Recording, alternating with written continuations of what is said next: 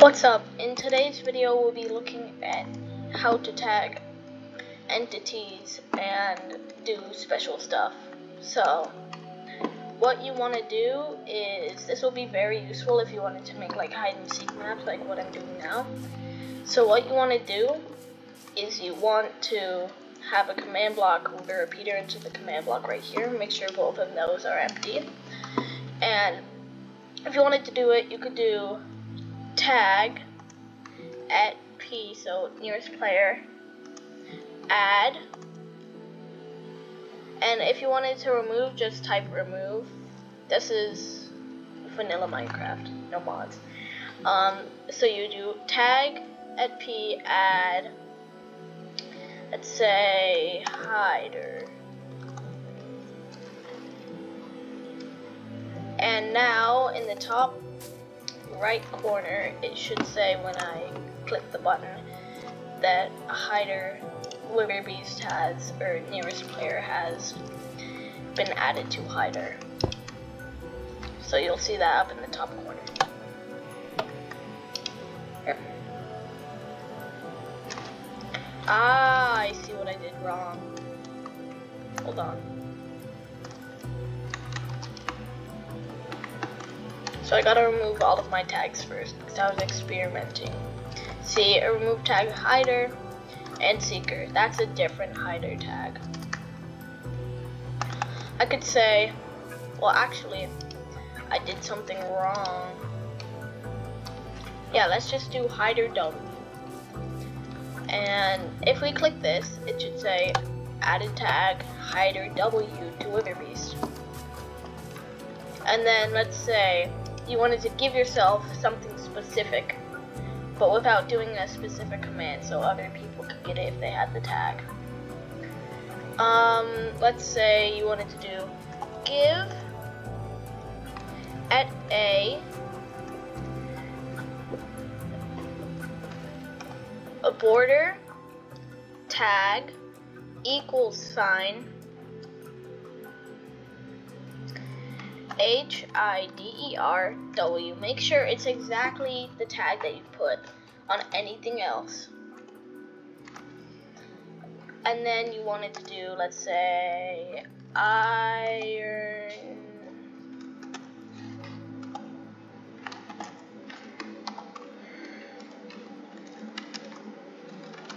Sword.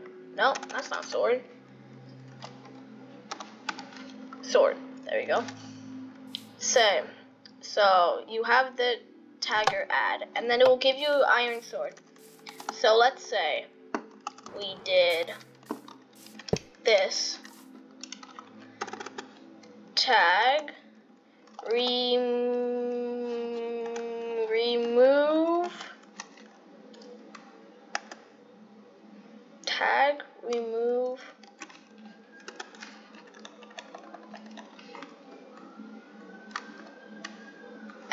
at P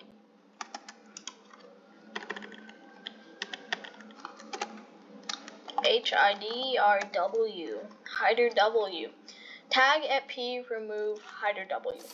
So if you place a button on this, it will say removed tag hider W, and then it will say add tag, and then you have been given the iron sword.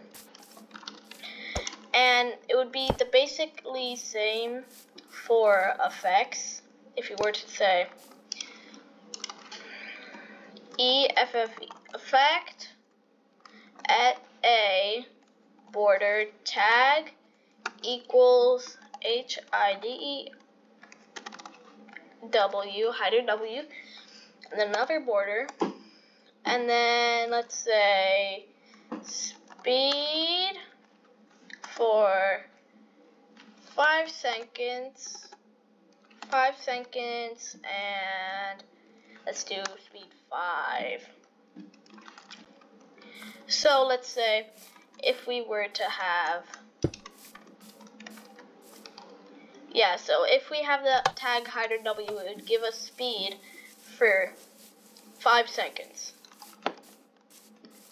And then if we do, let's just do this in the chat this time tag p re remove hider W. That should come up. Whatever tags you have existing on the world or whatever are attached to your player specifically should show up there. And then let's say, yeah. So if we click this button, nothing happens. And then if we click this one, we get the tag and we get the iron sword and then now we get speed. And this was just a short little tutorial of how you can make tags useful. So you could do it for all kind of stuff like slowness and whatnot. And the hide and seek map should be out in about maybe a week. I'm gonna post it in the trailer for the channel description.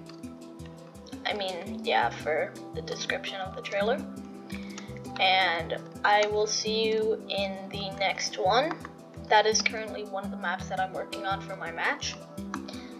Well, actually, no, I have something more to show you. So if we, I already have a thing right here, and so it will say remove tags. So we have no tags on. Uh, so if we pressed seekers, and we press the desert map. It'll give us slowness and blindness and then an iron sword for 30 seconds. So the hiders can hide around the map and then once that once that timer is over you can um, go and find the hiders and then either win or lose the match. I'm currently developing a kind of timer right now. So this is the command block that I just listed. So it consists of give at a tag seeker iron sword, effect at a tag seeker slowness 3255 true.